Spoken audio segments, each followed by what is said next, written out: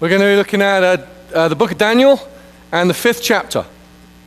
The book of Daniel and the fifth chapter. Uh, I had a, a realization uh, last night at about, uh, I don't know, 7 o'clock, 8 o'clock maybe. Uh, one, that I need to put my clocks forward.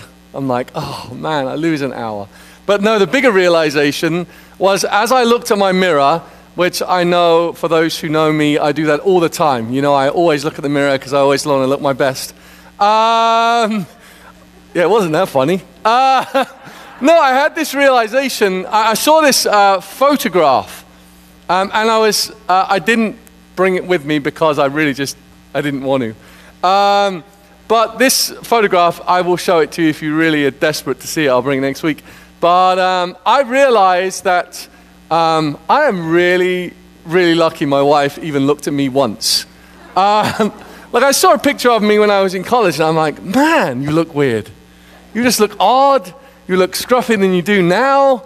Um, you didn't have a beard, so you looked like you were 10. Um, I mean, it's just, it was just amazing. I had this realization all of a sudden that was like, whoa, I actually, I actually did pretty well. I did really good. I did really good. And sorry. Uh, I am 6'5'2. Well, I have one thing going for me, yes. Um, but I had this realization uh, all of a sudden that God does things that are completely strange and are completely out of the realms of my understanding. And I had this realization of, wow, God, just at that moment, as I took a step back, as I stood in my bedroom and I thought, man, 14 years ago, 16 years ago, um, when I was in England, I'd never ever thought that I'd be in this place at this moment right now. And as you think about those things, you think even in your own life about the amazing things, the amazing experiences that you've had with God. Some of them you haven't always been able to explain, and some of them, maybe even right now, that you're trying still to explain of why things happen. As we look here at uh, the fifth chapter of Daniel, uh, for those who know the story, you know where we're going with this. But this idea that sometimes God shows up in the midst of an unusual circumstance and situation and does something out of the ordinary. Something that is so strange so odd, almost like a fire alarm going off twice during the middle of service. Uh, Jeff and I's worst nightmare. Um, how are we going to get that thing down? Like, I'm 6'5, I'm not 15 feet tall. Like, how's that going to work? So don't think about it. We do, we do have a plan, so you don't have to spend the next 20 minutes thinking about how that's going to happen. Like, don't worry about it. We have a plan. But if you see Jeff run out the back, you know, what, you know it's because an alarm's going off. Look at Daniel chapter 5, if you will.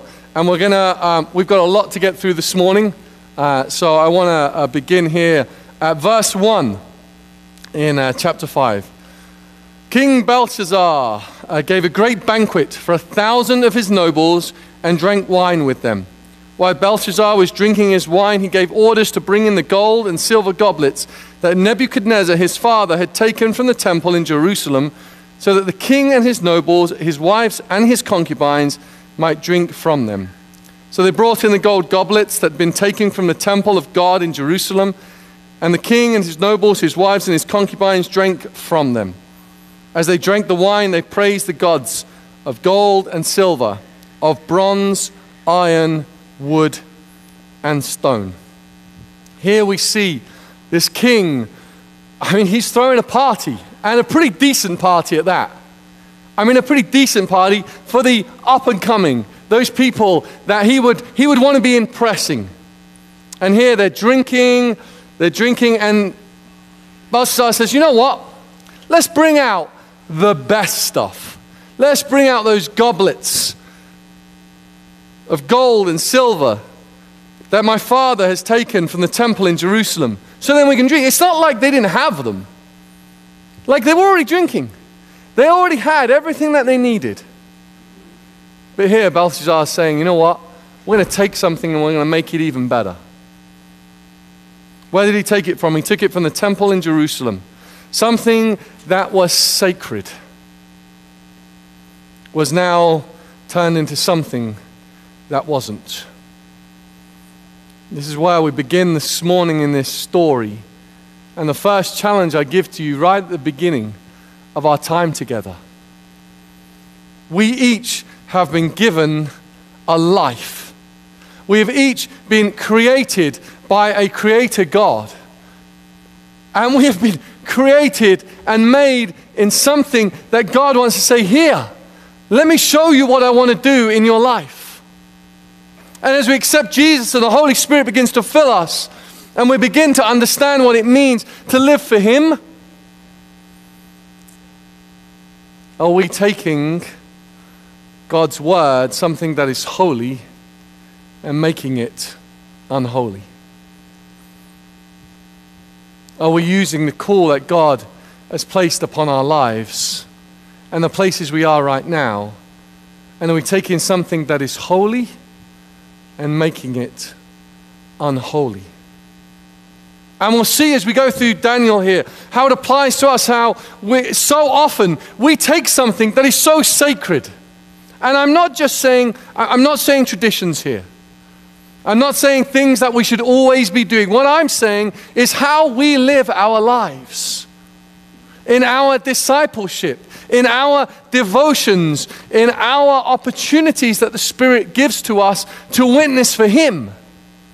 Are we taking that holy moment and are we throwing it away? Or are we honoring that holy moment and sharing the greatest the greatest thing that we have? And maybe that's a better question. Is Jesus the greatest thing that you have?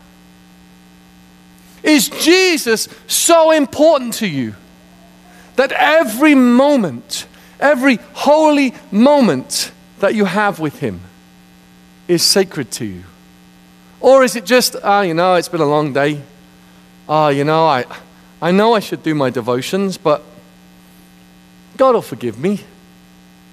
You know, He knows I've had a long day and He knows I need to, to rest. And, and this is the one I, I love the best. Well, you know, God knows that I need a Sabbath. So I've got to sleep for 24 hours like I know I've got to do. No. Sabbath rest for us is to fellowship with the Lord, to take something that is holy and keep it holy. You notice, though, they don't just drink out of these goblets. They're taking this, this something that is holy and making it unholy. What else do they do? Verse 4 As they drank the wine, they praised the gods of gold and silver, of bronze, iron, wood, and stone. Something that has been set apart for the God of Israel is now being abused.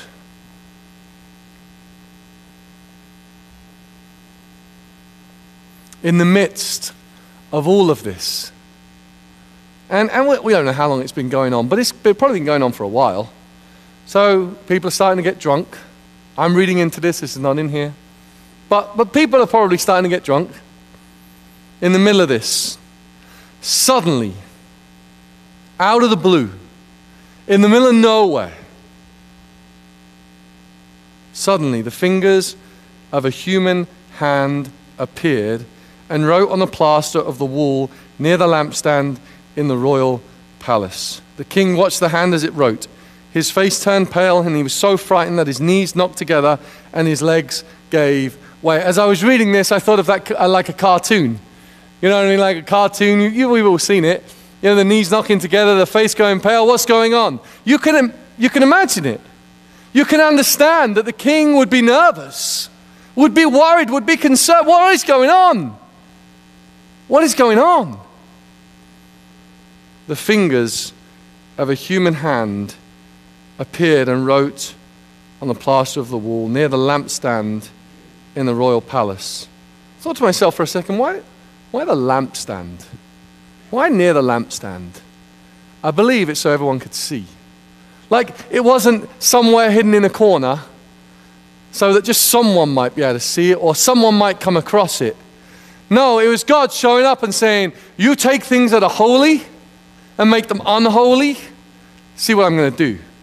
It, it reminds us, I'm sure, of stories that, that we've read in the Old Testament. Even of Noah, where he showed up and said, I'm going to I'm going to create a flood and wipe out everybody. But you be ready. You be ready. Even though you might get laughed at, you might get joked about, you might get ridiculed, you be ready. You be ready for that holy moment. And then the king. What does he do? Verse 7. He defaults to what he knows. He defaults to what is familiar to, to him. The king called out for the enchanters, astrologers, and diviners to be brought and said to these wise men of Babylon, Whoever reads this writing and tells me what it means will be clothed in purple and have a gold chain placed around his neck, and he will be made the third highest ruler in the kingdom. The one right underneath Belshazzar, the one that has prominence. You'll be made royal if you can figure this out. Because I'm scared and I don't know what it is. You figure it out for me, and I will give you everything, almost as much as I have. So he doesn't just default to the people that he knows, he defaults to what is usual for him. Let's just throw some money at it. Let's throw everything possibly physical that I have at this problem that I don't understand. Verse 8 Then all the king's wise men came in, but they could not read the writing or tell the king what it meant. So King Belshazzar became even more terrified, and his face grew more pale. His nobles were baffled. Baffled. Confused. Can you just imagine it? Have you ever been there? Have you ever been confused by something? I mean, I've been confused many, many, many times. There have been times where somebody will say something to me, or maybe the first time that me and my wife met, where we were introduced and I said something. She said, oh, I'm sorry, I have no idea what you just said.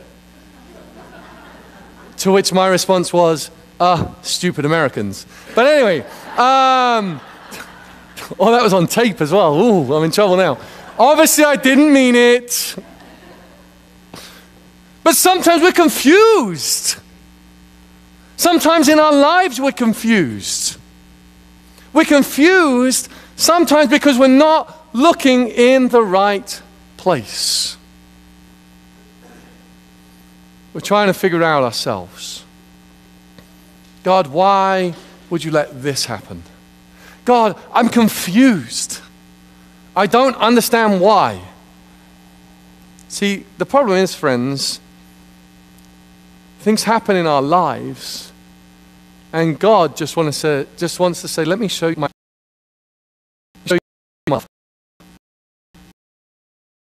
let me show you what it means to love in a way that is honoring. In the midst of all this, the kings, the nobles, everybody else is confused. Notice who are confused. It's the king's wise men, it's the nobles, it's everybody who's there, it's the astrologers and the diviners. All these men are completely confused, and then who shows up? The queen. Lady shows up and says, Hang on a minute, king. You've got it all wrong. Who, what, one man has never heard that before. You know what I mean? Like, hey, you, you listen, listen to me. Listen to me. I know this guy. I know this guy. Let's read it. Verse 10 The queen, hearing the voices of the king and his nobles, came into the banquet hall. O king, live forever. She said, Don't be alarmed. Don't look so pale. There is a man in your kingdom who has the spirit of the holy gods in him. I just want you to make note of that as we go by. Notice how she refers to Daniel. The spirit of the holy gods is in him. Just make note of that. In the time of your father, he is found to have insight and intelligence and wisdom like that of the gods. King Nebuchadnezzar, your father, your father the king, I say, appointed him chief of the magicians, enchanters, astrologers, and diviners. We've seen so much of what Daniel has done, but look how quickly it's forgotten. Look how quickly it's forgotten. He's faithful in everything, but look how quick it is forgotten. In, in the matter of just, just a, a couple of decades, it's forgotten. Except for this one lady. Verse 12 This man, Daniel, whom the king called Belteshazzar, was found to have a keen mind and knowledge and understanding, and also the ability to interpret dreams, explain riddles, and solve difficult problems. Call for Daniel, and he will tell you what the writing means.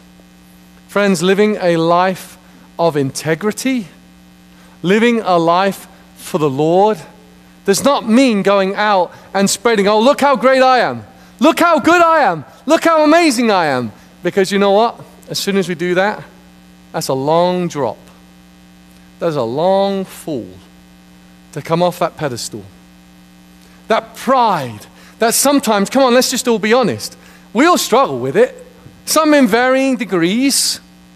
Some of us really struggle in, in, in great ways. Others, we have that false humility. Oh, no, no, no, no, no. I didn't, I didn't do anything. You did. So, so take, give the credit to God. Pride something, is something that all of us at some point struggle with. Yet still here, Daniel, living with integrity, living for the Lord, the word gets around. We all know, don't we? You know the people that you will call in an emergency.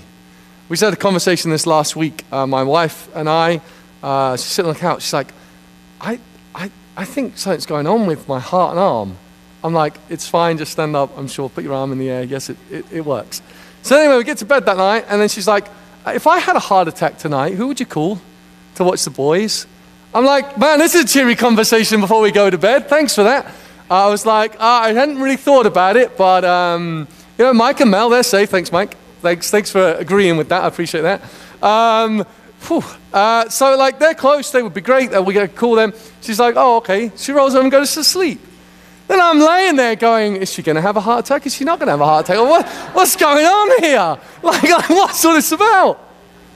But to be, but just thinking about this idea of we know the people that we'd call. We know the people who would come at a drop of a hat. We know the people that right away would be, oh yeah, I'll be there, I'll be there, I'll be there. They don't need to say, I didn't need to call Mike and Mel up and say, hey, Mike and Mel, would you mind coming over if my wife has a heart attack? Imagine that phone call. Is she planning on having one? You just know the people. Why? Because they live lives of integrity. They live lives for the Lord, and we just know those things.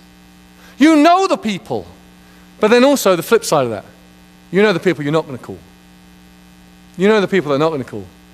They're the people that you've called before and you've been like, oh, do I really have to go? I guess if I have to come over, I'll come.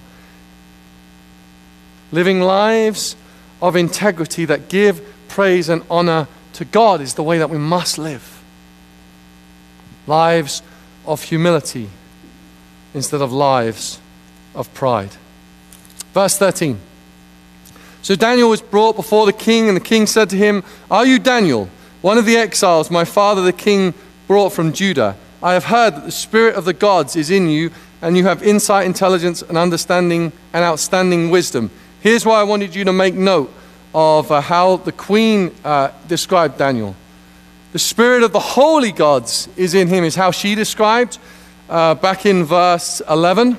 But here, the king ignores the holy part. Because why? He's falling back on what he knows. The spirit's, uh, verse 14, I have heard that the spirit of the gods is in you, and that you have insight, intelligence, and outstanding wisdom. Here's the irony of all this.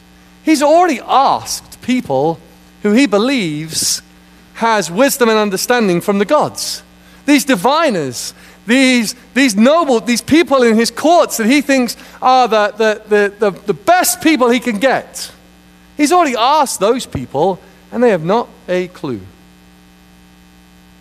I have heard, verse 14, that the Spirit of the gods is in you, and that you have insight, intelligence, and outstanding wisdom. The wise men and enchanters were brought before me to read this writing and tell me what it means, but they could not explain it. Now I have heard that you are able to give interpretations and to, and to solve difficult problems. If you can read this writing and tell me what it means, you will be clothed in purple and have a gold chain placed around your neck, and you will be made the third highest ruler in the kingdom. This is all what the king is saying to Daniel. There's multiple questions in here and multiple opportunities for Daniel to respond. But the only time he responds is right here in verse 17. Then Daniel answered the king. He could have said, Yes, I am he. I am the one.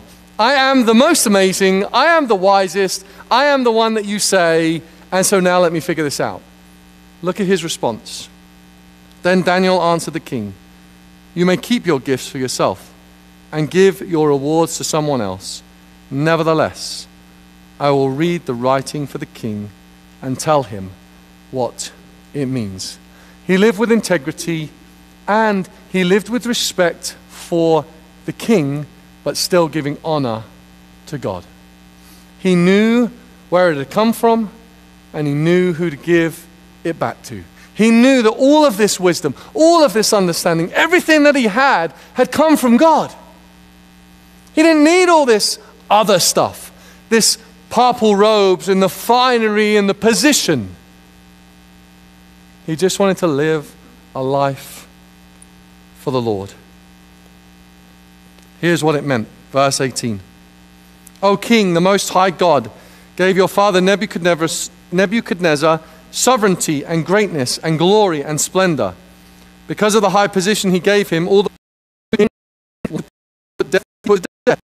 those he wanted to spare, he spared. Those he wanted to promote, he promoted. And those he wanted to humble, he humbled.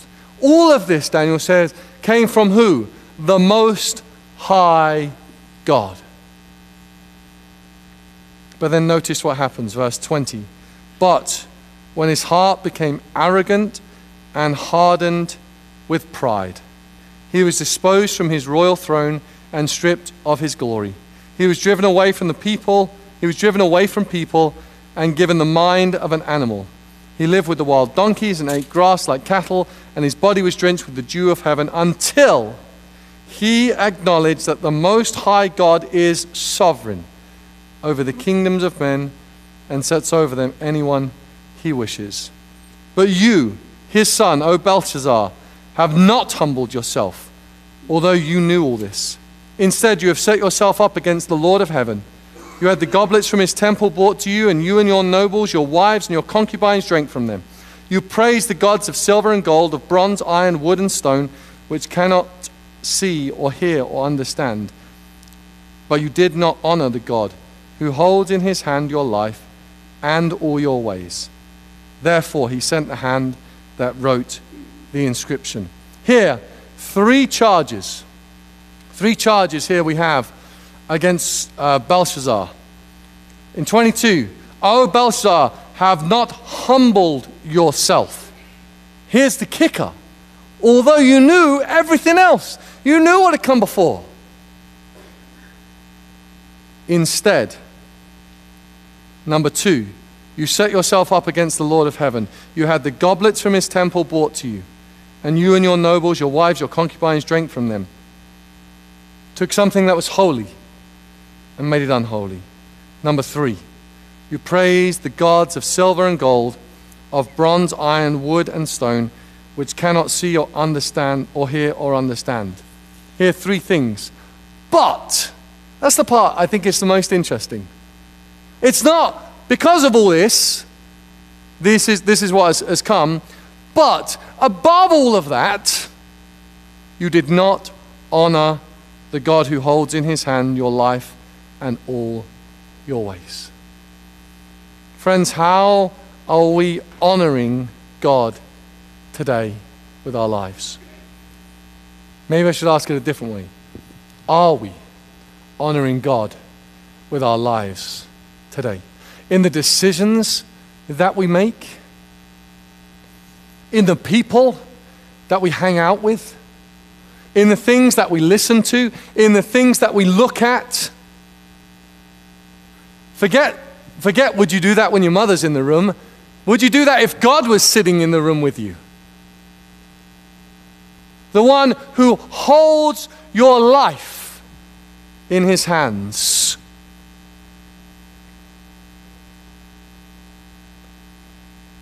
And not just your life, all your ways. This is the inscription that was written. My Aramaic is not as good as it used to be. Actually, it's never been very good. So I'm just telling you. I listened to, I don't know whether you ever do this, um, but I, uh, I, went on, I went online to the blueletterbible.com. It's a great resource. Um, and I like listened to the, um, the guy on there, and I kept pushing the, the speaking thing just to see how it said, and I still couldn't get it. But anyway, this is my best. Mene, mene, tekel, paresi. It's as good as it's going to be. This is what it means. This is what it means. As my, as my good friend Major would say, what is the point? This is the point of these four words. Mene. God, mene means numbered. God has numbered the days of your reign and bore it to an end. We'll come back to that one in a minute because the irony of that is not lost on us as we go in two or three verses. God has numbered the days of your reign and brought it to an end. Tekel, which means weighed. You have been weighed on the scales and found wanting. You have been weighed on the scales. What scales? Here's the standard, friends. These are the scales. This is the standard that you're being weighed against. Not my standard, God's standard. If it was my standard, you'd all go way over the top. Peres, your kingdom is divided. That's what it means, divided. Peres means divided and given to the Medes and Persians. Now, here's the thing each one of these, each one of these, and you also notice that Mene happens twice. It's like your days are numbered, they're very numbered. That's what I think that is. It's, it's not just that your days are numbered, it's they're coming to an end very, very, very quickly. And we'll see that in verse 30, that very night. Belshazzar, king of the Babylonians, was slain. That very night. I'm sure when he heard that, he was like, Well, I can get, I've got plenty of time. I can get my affairs in order. I know they're numbered, but, you know, I've I must have a little bit of time. No, that's it. Boom, done, finished. The God who holds a hand, his life in his hands that very night. But here, these three responses relate to the three charges that were held against him. Here, you have not humbled yourself. You have not lived a life of humility. Therefore, in that third response here, your kingdom will be divided. Everything that you have lived for will be divided, will be removed from you. You have been weighed and found wanting. Your moral compass has been found wanting. You had plenty of vessels to drink from, but you had to defile what was sacred. Your morals are out of line. And then Mene. God has numbered the days of your reign. You've worshipped every other God, but you've missed the sovereign God. God has numbered your days. That sovereign God who holds your life and your ways in his hand, he has numbered those. But in between verse 28 and verse 30, where Belshazzar disappears from the face of the earth because he was slain, what do we have? We see it again. Belshazzar doesn't go, Oh, woe is me. I'm going to drop on my knees and worship the sovereign God. No, what does he say? He falls back to his default. Then, at Belshazzar's command, with no remorse, uh, not seeking any forgiveness. At his command, Daniel was clothed in a purp- with purple. A gold chain was placed around his neck, and he was proclaimed the third highest ruler in the kingdom. Two things. Daniel didn't want any of this, but God honored Daniel's faithfulness.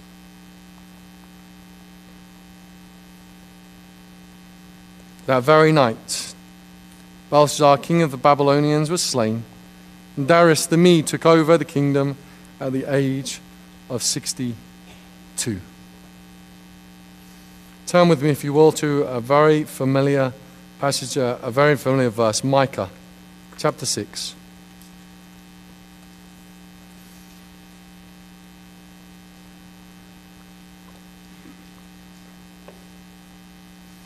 With no remorse, no forgiveness sought, Belshazzar's life was ended. Just like that. Done.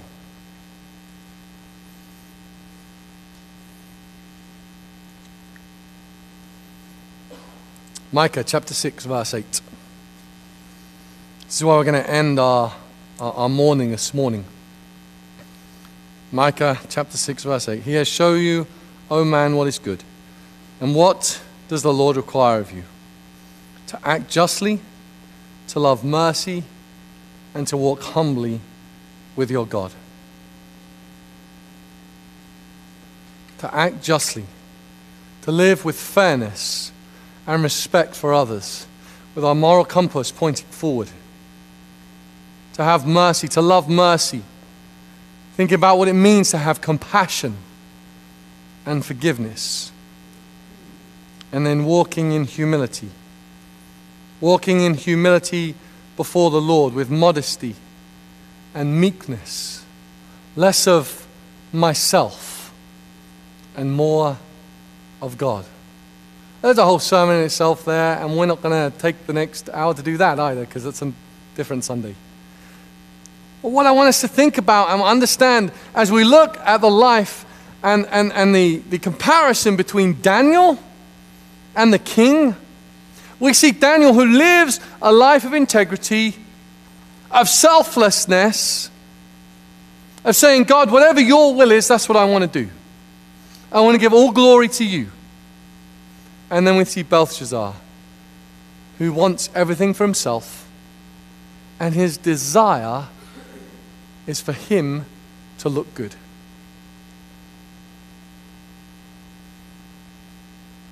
As I looked in the mirror last night, as I looked at that picture, as I had studied this scripture over the last few weeks, I had to take a secondary look because it wasn't about what was on the outside. It wasn't about what I saw. It's the things that I remember about the times when we first met. The same needs to be with the Lord. You see, the problem is, friends, when we first find and know Jesus, when we see these junior soldiers come in and we hear about them, and we had an opportunity at the back to pray with them, and they're high fiving and they're so excited about becoming junior soldiers and getting enrolled this morning and standing before you all. They were so excited about the fact that what? One, they belonged to a family, and number two, they loved Jesus. And you could visibly see it. And they weren't concerned about, oh, well, I hope I walk down properly and I hope I stand here properly because I'm sure you all saw my son. Oh, where's my, where's my promise? I don't even know where it is. Uh, let's pick my nose. Let's. He doesn't care. He's just excited about knowing who Jesus is. All of them, every single one. The one I loved best was over here. I think it was Caden and uh, Charlotte were standing next to each other. And I don't know whether you saw, but as Caden got up, he stood here. And then what did Charlotte do? Just kind of moved him over. Like, this is your spot. This is where you are. Look, I almost tripped over the holiness table. Think about it. Friends, when we get older, we get boring. We don't get excited about Jesus anymore.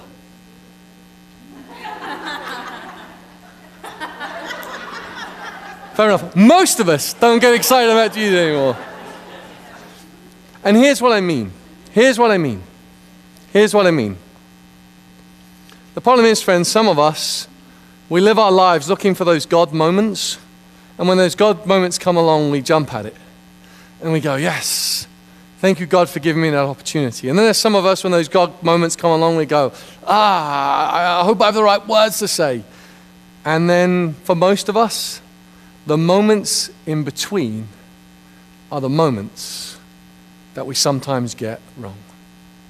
They're the moments that sometimes we're not always excited about who Jesus is and what he's doing in our lives, especially in those moments of forming and molding and shaping and challenging. Those moments as Daniel was brought before the king, well, what's going on now? What's happening? What's taking place? Am I ready to serve the Most High with integrity? So I challenge you with this morning as you look at your life, as you look at your workplace, as you look at your family. And we all come from different spaces, different experiences. But the one thing that is constant for all of us is God's standard. And friends, God is not going to lower his standard for you and He's not going to lower His standard for me. And if you want God to do that, then you're looking in the wrong places. Because it's all about you then. Friends, God, God loves us so much that He wouldn't even stop His Son from coming. He wouldn't even keep that to Himself.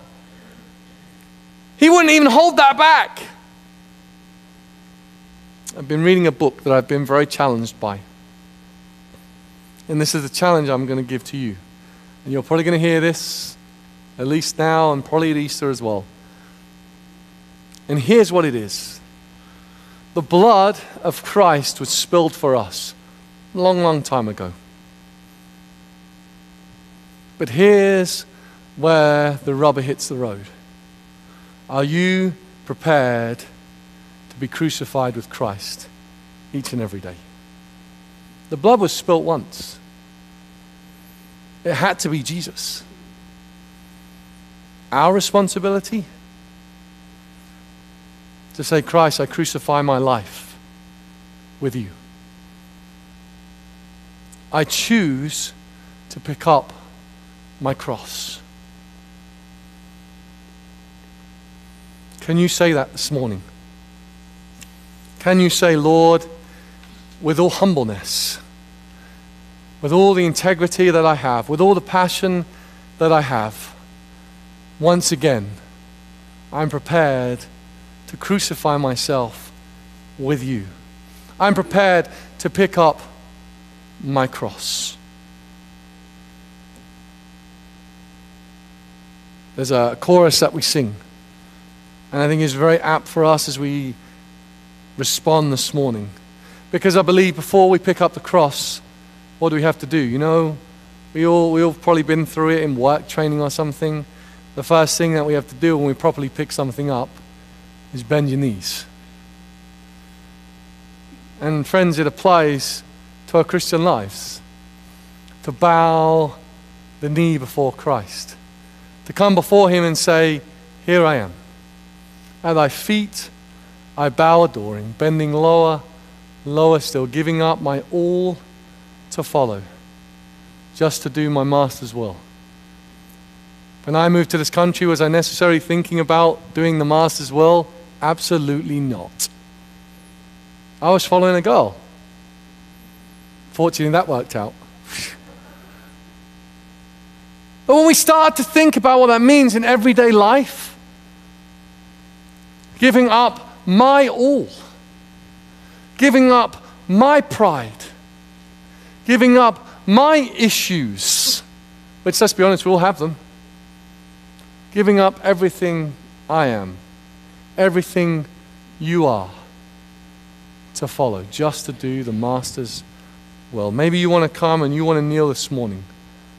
To physically come and kneel before the Lord to say, Lord, I'm kneeling, adoring you as once again I choose to pick up my cross. As I once again choose to sacrifice who I am on the cross with you. As we sing this chorus a couple of times, I want to invite you to come, to kneel, maybe even stand at our holiness table, to come and bow adoring before the sovereign Lord.